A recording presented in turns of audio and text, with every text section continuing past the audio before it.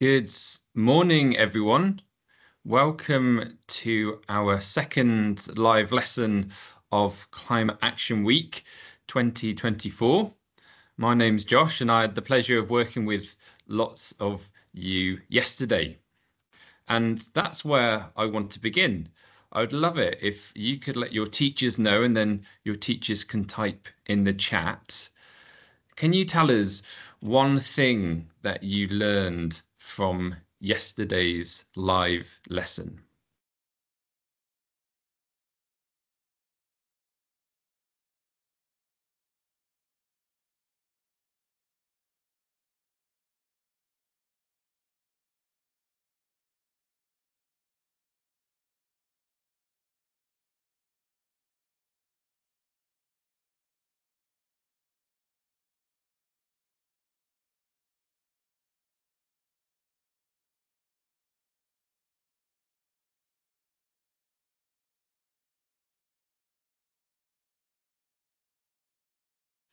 Can see some answers starting to come in. Um, the first one talking about that we do actually need greenhouse gases. Yeah, so we do need them to help our planet stay at a fairly stable temperature, but it's the amount of them. We've got too much of them in our atmosphere that's driving our current climate change. Um, Another group said ideas for how to make the world a better place. Yes, we had a author, Cindy Ford, with us yesterday who gave us loads of great suggestions of what we can do to make our world a better place. Um, and we also learned more about different types of greenhouse gases. And also another class said what climate change actually is. Thank you so much for sharing those answers just like we did uh, yesterday, um, we're going to do a few little quiz questions to test your knowledge on some climate change concepts. And hopefully this knowledge will help you in today's lesson. So just like before, I'm asking you to put your hands up or on your head to answer. And then just like before, your teachers can type your answers in the chat.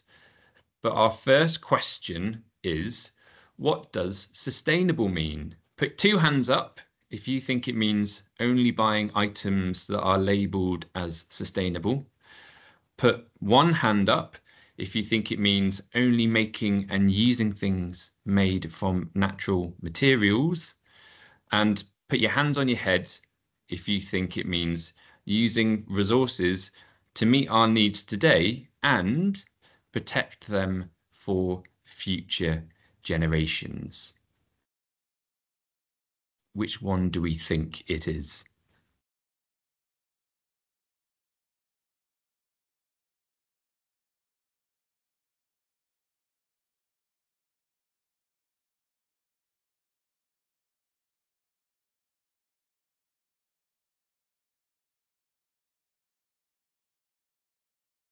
Getting lots of hand um, of answers coming in. Yes, and most of you are saying hands on heads. Yes, and that's what I would agree with as well. You can have different definitions of sustainability, and it can mean different things to different people. But I think one common thing which lots of definitions have is this, is that we're using resources to meet our needs today and then also protecting them for our future generations as well. Thank you so much for sharing those answers. Okay, next question. What is a carbon footprint?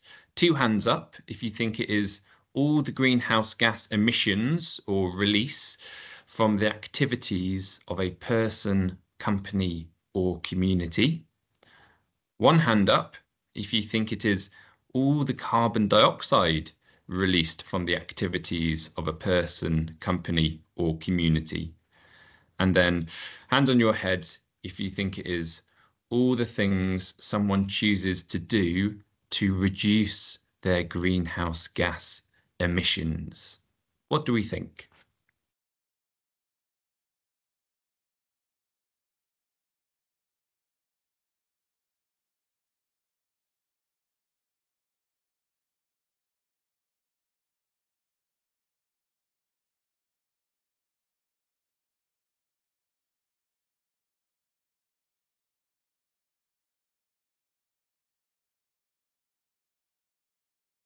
Thank you very much for all of those answers coming in. I can see a, I can see a trend. It splits between two hands up and one hand up. And I think that's a really fair and understandable split. The correct answer, and maybe a little bit confusingly, is all of the greenhouse gas emissions from the activities of a person, company, or community. So it's actually two hands up.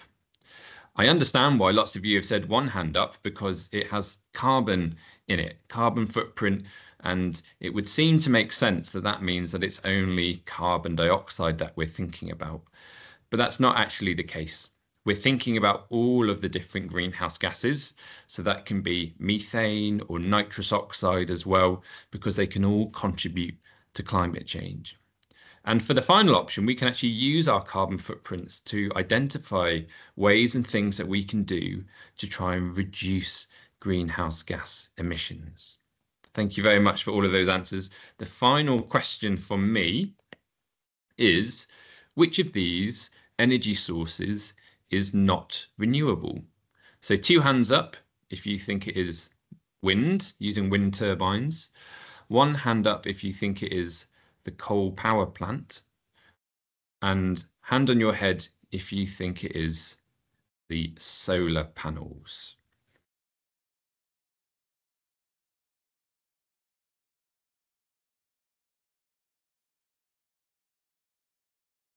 One of the, the quickest answering for the questions here. I can just see loads of hands shooting up all across Scotland. Yes, you are bang on with one hand up. It is coal power plant, which is what we used to use several decades ago to make lots of our electricity. And burning coal releases greenhouse gases into our atmosphere. And at some point, the coal will run out. Whereas using wind and using the sun energy does not release greenhouse gases when they generate electricity. And they will be around for much longer after the coal runs out. So those are our renewable energy sources. Thank you very much. Okay, well, today we're very excited to be joined by Nicola Marshall um, from Jacobs, and that's not the biscuit company, that is an engineering uh, company, and she's going to talk to us about engineering and building sustainable homes. Uh, and Jacobs is a global engineering company that works to solve some of the world's biggest problems using science, engineering, and manufacturing, making stuff. And it's a big thank you to Nicola for joining us today uh, and to our friends at Jacobs for helping make this workshop happen. So that's all from me. I'm going to hand over to Nicola now. I will stay on the screen and be with you throughout this.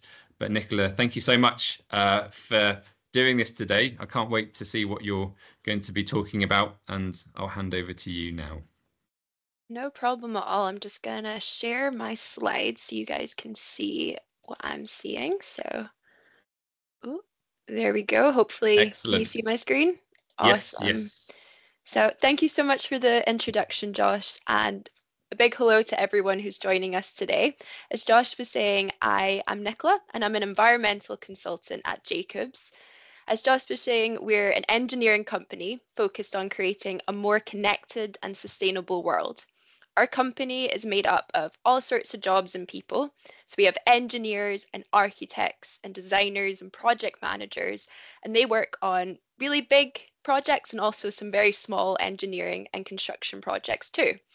We help to design and create buildings, bridges, railway lines, roads, and much, much more across 70 countries worldwide. And one project we've worked on pretty recently, which is close to home if we have any Glasgow schools in the audience, um, was the Govan to Partick Bridge, which opened up in Glasgow only two weeks ago.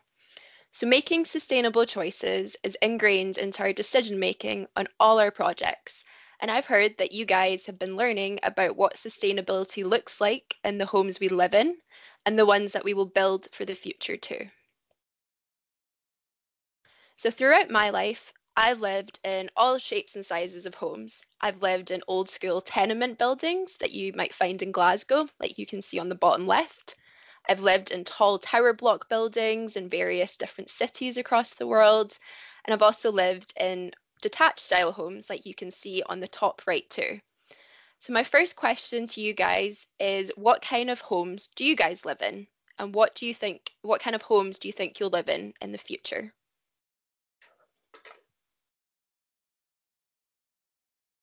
Have a think and let your teachers know what type of homes do you guys live in?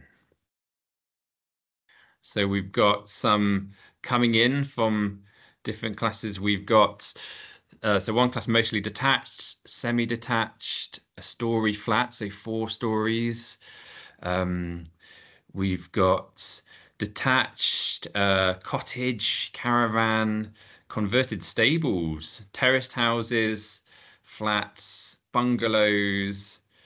Um, some children are saying the top middle image. Um, some are saying mostly like picture three, which I think is a detached house, Victorian tenement flat. Um, I think we're kind of covering every single type of housing that I could think of there. Yeah, I think so too. Yeah. So why is it I'm asking that? So, well, as Josh was saying before, our climate has been changing. Human activity since the Industrial Revolution has led to our planet warming with more greenhouse gases in our atmosphere, and that's causing our climate to change. We see more extreme weather events which can affect our livelihoods, our health, our homes, and the environment too. So, how can we change our homes to ensure we adapt them to our changing climate? How can we ensure that they're built with as minimal greenhouse gas emissions as possible so we're not adding as many to the atmosphere, as this would stop um, our climate to change? And how can we make them sustainable for now and for the future too? So before we look at what sustainable choices we can make for our homes, let's find out how we can build homes to begin with. So a house is a building where people live in, and they can look different depending on where you are in the world and even in Scotland too. But at its core, it's designed to be a home, providing shelter and a place for our daily activities. When we build a home, there are six key technical phases we go through in the engineering world. The first part is we're establishing the foundation of the house. So this is the base which keeps the house stable and safe. It bears the weight of the home and it keeps it protected from the elements. The effects of climate change, such as increased flood risk, need to be considered and is a big factor when we're choosing the type of foundation design. After establishing the foundation base, we go through a process called framing, where we create the house's frame. This is the skeleton of the house and it provides essential structure to support the walls and the roof, as well as providing the general shape of the home. In Scotland, this is typically made out of wood or from steel. After framing, our next piece is to add on the house's roof and sides. First, we usually add a waterproofing layer on top of the house frame, and after adding this material, we add on the main roofing and siding materials to protect the house. So typical materials for your roof could be tiles made out of wood or slate or stone. And then typical materials you'll find for the side of our homes might be bricks, might be wood, it might be stone, all sorts of different types of materials. So now that we've built essentially the shelter of our home, we now need to add in our utilities. So that's our electrics, any sort of pipe work or plumbing system, as well as any sort of heating system we need to keep our houses warm. After adding in the utilities, we can start to build out the interior work. So we want to make sure our house war stays warm in the winter and is cool in the summer. So we add a layer of insulations to the walls and the roof to retain any heat or coolness within our house. So typically that insulation is made from a fluffy material that you can see on the right hand side and it's inserted between the outside wall and the house's frame. Then to protect that fluffy insulation layer, we add a drywall to it. So this is usually made from a material called plasterboard. And that's the wall that you will see inside of your house and the one that you can paint on and add wallpaper onto. And then the last phase is our finishing touches. So this is where we add stuff um, to use within our home, like the kitchen and the bathroom and all its components within it. So those were the basics steps that will have formed the houses and homes you see on screen and the ones that you live in and I live in too. So now that we know what the basics of what makes a home, I need your help with the projects that I have. Jacobs has a client and they've asked us to work together to select what the most sustainable home is out of the options I have on screen. And they've given us five options. We're going to use my sustainability checklist, which I use in my work, to find out which of these homes are the most sustainable. So before we begin, does anyone want to have a guess of what they might think is on my checklist? What is it I'm looking for when I'm checking to see if a home is sustainable? That's a great question there from Nicola. What's she looking for to see if a home can be sustainable. So as always, let your teachers know and your teachers can type us in the chat. So one class has already come in uh, with solar panels, question mark. Another one has said about plants, recycling bins, renewable energy sources. Yeah, some really good comments coming in and different ones as well, which is awesome. We've also got insulation. We've got how the frame is made. Uh, one class has said material to construct the house. Um, another one has come in with um, living walls, electricity rather than gas. Um, another class has said a garden to grow your own food. One has said land around it, how it protects itself from the elements, um, making sure water electricity is not leaking. We've got so many coming in. I'm struggling to keep up with yeah. all these brilliant answers. yeah, this is great. One's awesome. come in with sorry, find a thing, Nicola. One's come in with yeah. um, solar panels, good insulation. They've also mentioned something called a heat pump, which I think ah. you may be ah. talking about a bit later. Yeah. Okay. Really, really interesting. So let's see if any of your ideas are on my checklist. So let's go through it together, guys. Um, so the first aspect I'd like you to consider, which some of you guys have already said, is the main material used to build the outside wall of the home. So on screen, you can see which siding material has been used to construct each home and where that material has come from. So when selecting materials to use, we want materials which have a low carbon footprint which, as Josh was saying, it means we've got low greenhouse gas emissions produced when we were creating the material. That usually means we want the material to have been produced with minimal energy use. And additionally, we want the material to be created and made somewhere local too. So for our example, we want somewhere in Scotland. So out of the options on screen, I've got houses three and four, which are made out of bricks. Bricks are the most energy intensive out of the options I have on screen because they've got to be heated to over a thousand degrees Celsius to make them stable. We also have two different types of stone in options one and five. So stones are a bit less energy intensive um, than bricks. And then our final option is from home number two, which is wood, and that's the least energy intensive out of the options on screen. So I'm going to ask you guys to give one tick to a home if it uses um, a material with minimal energy use, based on what I've just said, and then another tick if the home uses a material that is local to Scotland. So I'm going to give you guys a minute to have a little think about that and let us know in the, the chat what options, um, which houses you're awarding your ticks to. Yeah, so let us know which numbers you're going to give a tick to based on what Nicola has just said.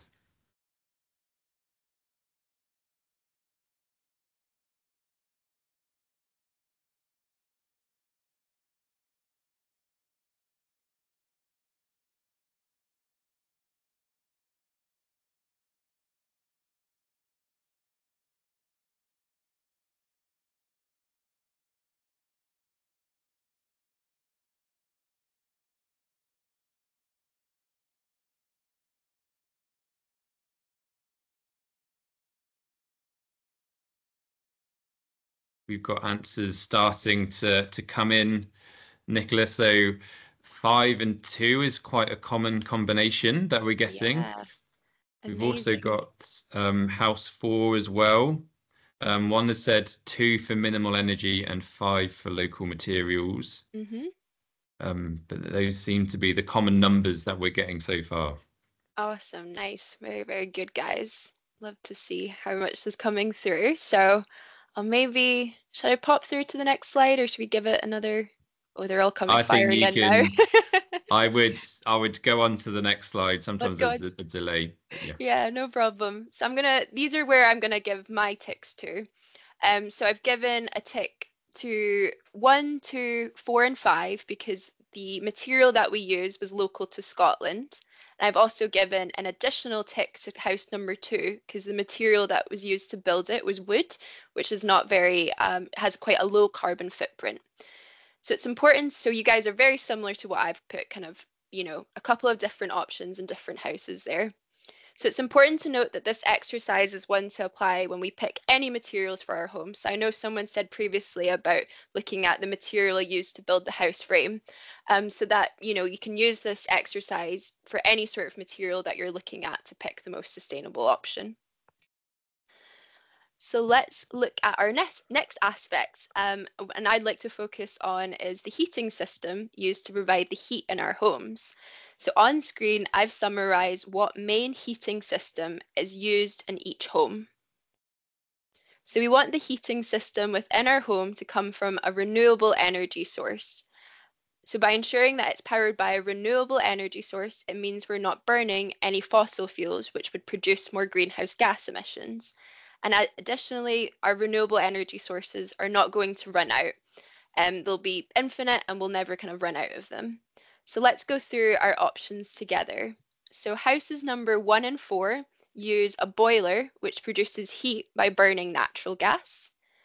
Houses number two and five use a heating system called the heat pump, which I know someone's already posted on the chat previously. So heat pumps work by using electricity to take the heat from the outside of the home and they move it inside. And it works a bit like a fridge in reverse. The key thing to note is that they're not releasing any greenhouse gas emissions when they operate. And house number three uses gets its heat from something called a district heating scheme. So this is where we take waste heat from an industrial process and move it to heat homes. So, for example, the waste heat from a whisky distillery in the northeast of Scotland, I think it's called Pulteney, um, used excess heat that they generated when they were creating whisky to heat homes in their local community. So, based on our criteria of giving a tick to a home that has a heating system um, that's renewable and has a low carbon footprint, which home would you guys give a tick to? So, again, if you put your answers in the chat, which home you think meets this criteria.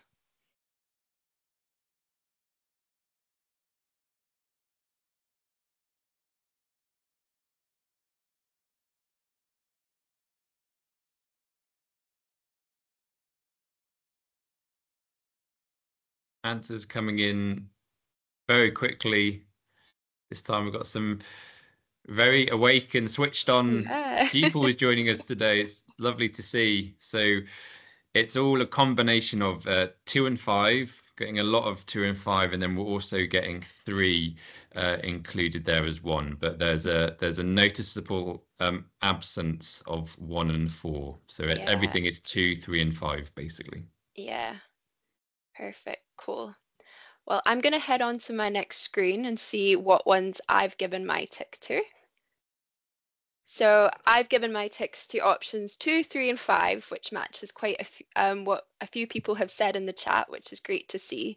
So about 81% of homes in Scotland have a gas boiler as their main way to heat their home. And it's worth noting I'm part of that 81%. I have a gas boiler within my house.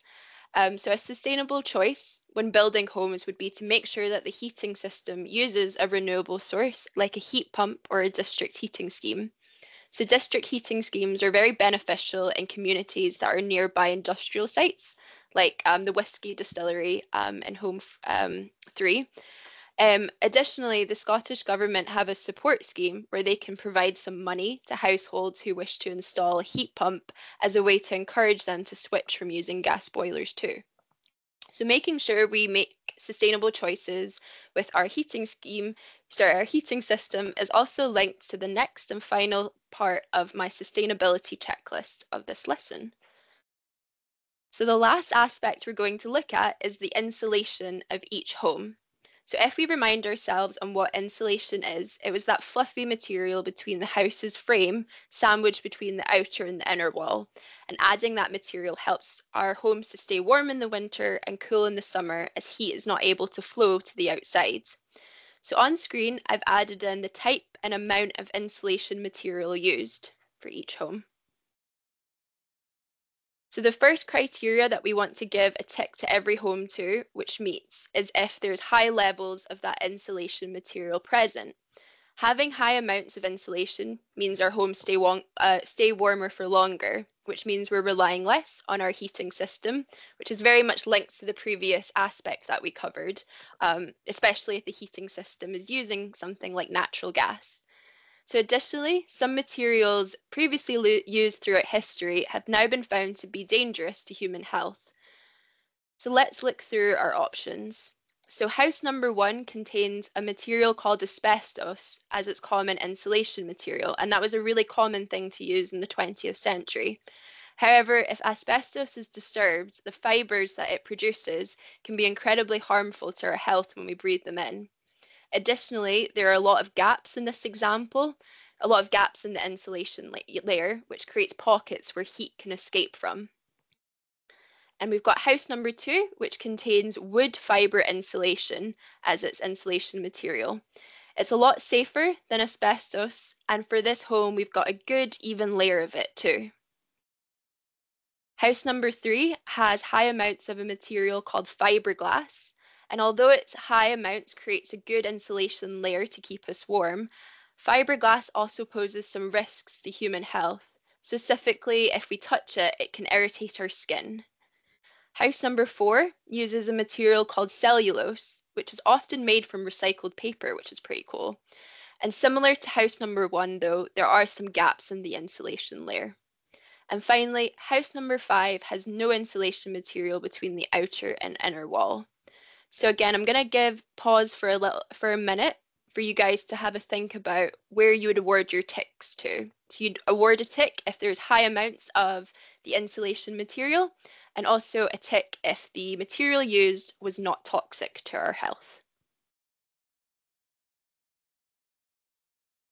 We've already got some answers coming in. Oh, yeah. Even quicker. this is a slightly um, to me, this feels slightly more tricky. There's quite a lot of them have some pros and also some cons. So it'll be interesting to see mm-hmm. what people are saying.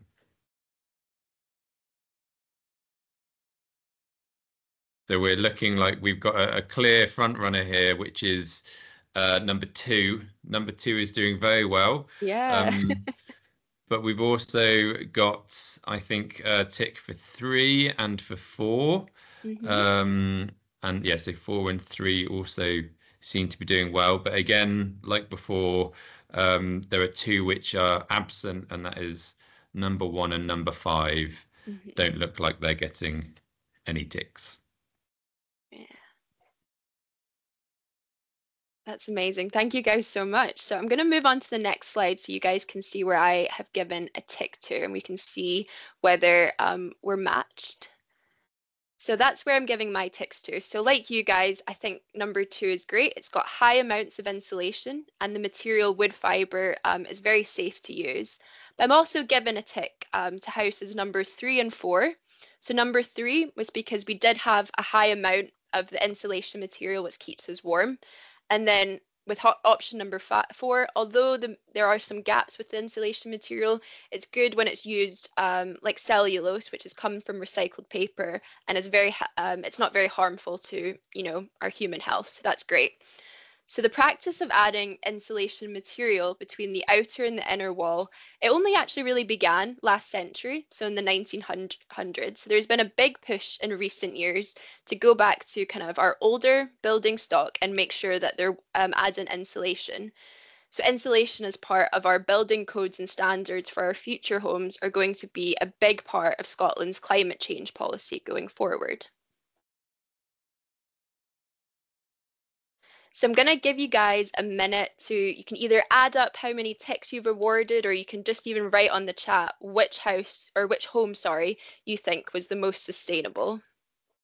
So based on kind of what the exercises that we've done, the three aspects that we looked at today, which option do you think is the most sustainable?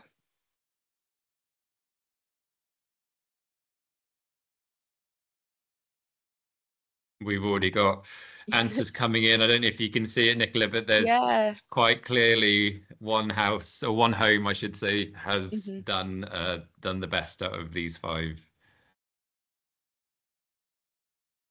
And then someone said two and four is a mix, which is very interesting. Oh, primary seven air asking how much house two might cost. That's a really good question. Um, to kind of consider when we're you know building home for the futures is that kind of trade-off of you know these things are great you know sustainable for now but is there a big cost associated with them? But i guess i would kind of argue that there's some costs that are hidden almost like you know greenhouse gas emissions.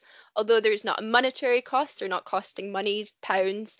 There are kind of negative impacts that happen because of climate change and for more greenhouse gas emissions that would mean there's a cost for future generations to kind of bear. There's another question that's also come in, uh, Nicola, um, that has said our class was wondering can wood insulation rot? But it's also a potential question for for any types of insulation. Yeah. Um, I don't know if uh, I don't want to put you on the spot. Uh, I don't know if you have any insight on on that. I don't actually. I would assume that um, the insulation usually is kind of treated by something. A protective coat is usually sometimes added to these insulation materials to make sure that they don't rot. Um, but I would maybe have to come back to you guys on that one and do a little bit of research and find out for you. Thank you. No worries. Cool. So I'm going to go to the next slide, and that is where I've awarded my ticks to. So very interesting. Yeah, I also chose house number two as well as the most sustainable option. But the reason why I wanted to do this exercise where I was giving ticks was to show that there are sustainable choices that were made for the other homes too. Although two has the most amount of ticks, um, there are some other aspects for the other homes which were, you know, um, a great sustainable choice too. So it's good to see that we matched. Um, was there anything at all that anyone found surprising throughout that kind of exercise that we've done together?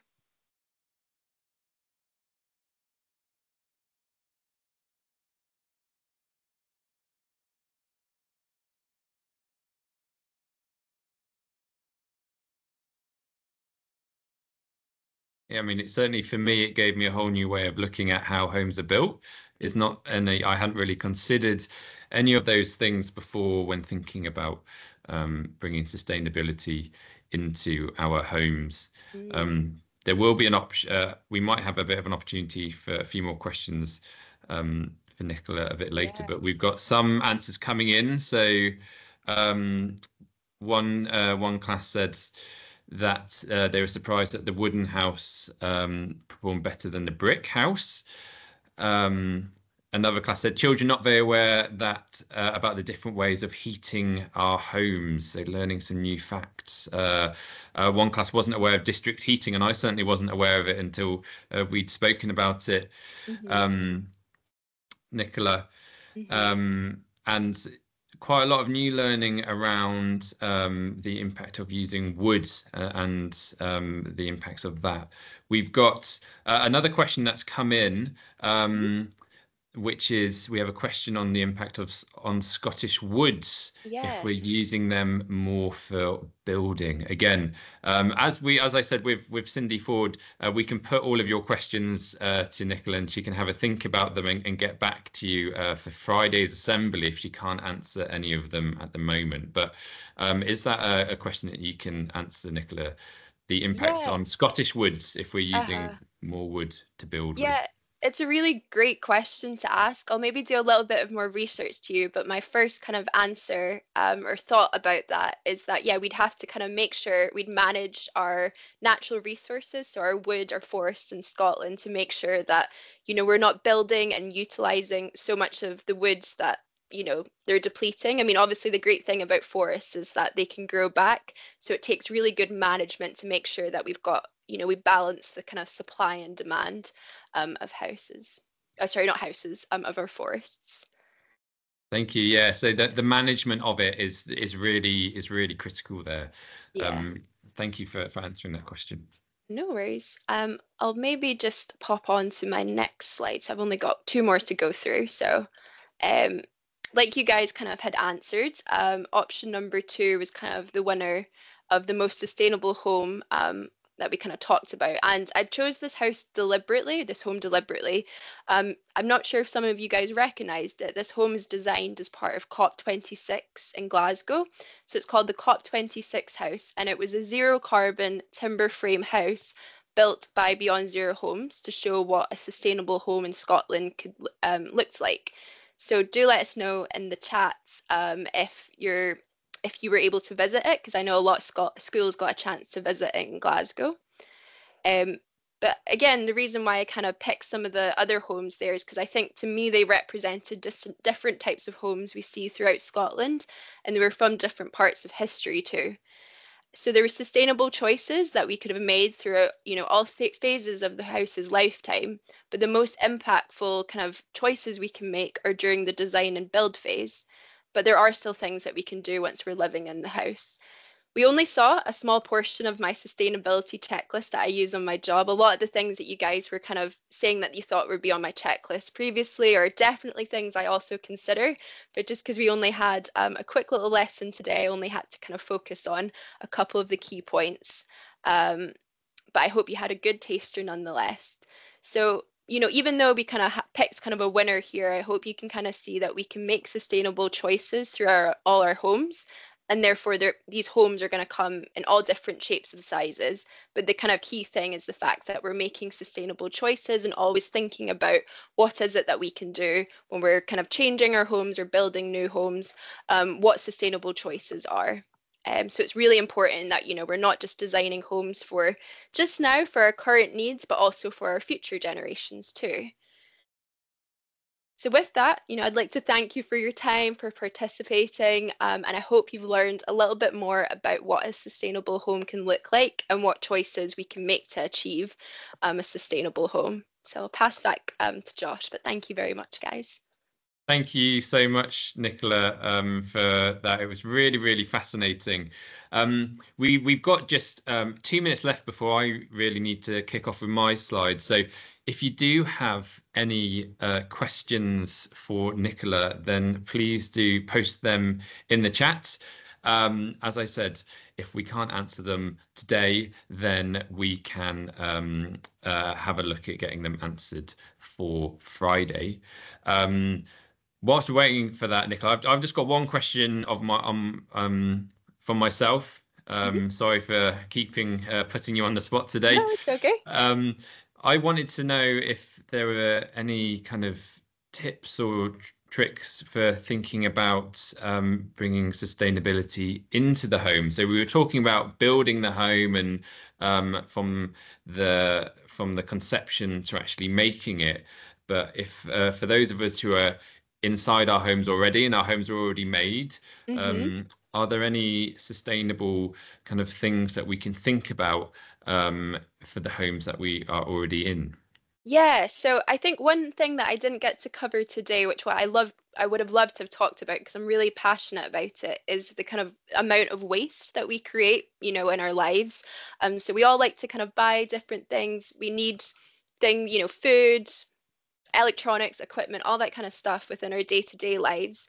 Um, but what's a really important thing for me is, you know, what we're doing with our waste. So making sure that we're using, you know, the different recycling facilities we have available to us. So for each council in Scotland, they'll have recycling centres that you can go and bring a lot of waste to. So a lot of electronic equipment, you know, we're not just putting it in our general bin, we're kind of taking them to a special site so that they can be recycled and repurposed.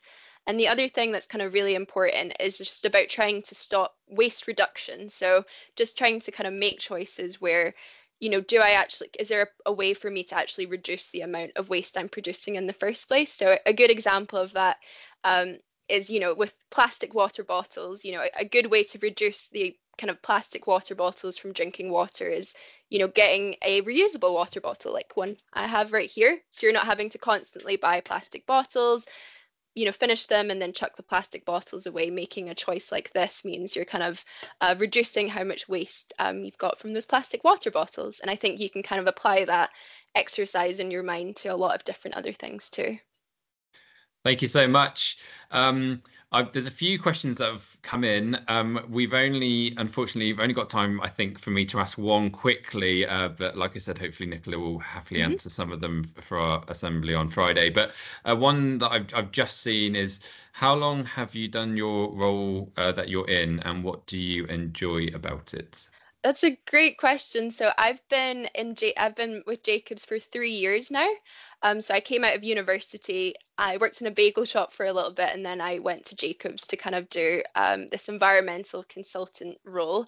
And I think my favorite thing apart about it is like it feels amazing to kind of work on different projects that have such a lasting impact on our future. For example, I talked about that Govan to Partick Bridge that was recently built in Glasgow. I, I get a great sense of pride when I walk past it, knowing that the company I work for you know has made such a lasting impactful thing for the kind of communities of Partick and Govan and I think that kind of extends to all the other infrastructure and engineering projects that we've done um, throughout the UK but also throughout the world as well. So that's my favorite thing about my job is is seeing the wonderful things that we create and that people use day to day and we were part of uh, making it. Thank you. Thank you so much um, if you have asked a question, which I can see quite a few of you have, uh, don't worry, just remember that uh, and we'll do our best to get that answered for uh, Friday.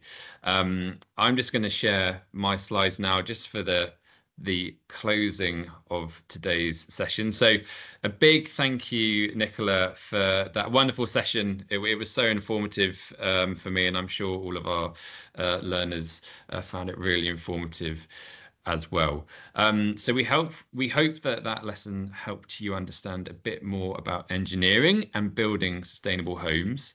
Uh, your next challenge is to complete our insulation experiment. And just like yesterday, this resource can be found on our Climate Action Week webpage. And you can use the results to continue designing your sustainable home. So again, just a reminder um, that this week uh, you get to design your sustainable home. And remember to send your designs to us to enter our competition to win books for your school. The deadline for the competition entries is Friday, the 4th of October, but any designs sent in by 3 p.m. Uh, this Thursday will be included in our assembly on Friday, and we would love to see as many of your designs as possible. As I've been saying, if you have any questions for Nicola, we've already got some uh, that I can see in the chat. Uh, but if you have any further ones that you think of after this session, then you can email them to education at keepscotlandbeautiful.org and we'll do our best um, to see if they can be answered. We would love to see any photos um, that you take of your insulation experiments and please share anything you are doing for Climate Action Week on social media and we will share your posts from public accounts at our assembly. Um, as I said yesterday, we uh, also very much value your feedback on our live lessons. So please complete uh, this short feedback form if you have time. Uh, there's space for pupils and for teachers. And the final thing for me is a big thank you. Uh, thank you, Nicola, for that wonderful presentation. Thank you, teachers, for supporting your students. And thank you to all of the pupils and learners who've given us some brilliant answers today. Um, we hope you've enjoyed it and we're looking forward to seeing you tomorrow for our lesson on designing sustainable homes, including how our homes can support our well-being.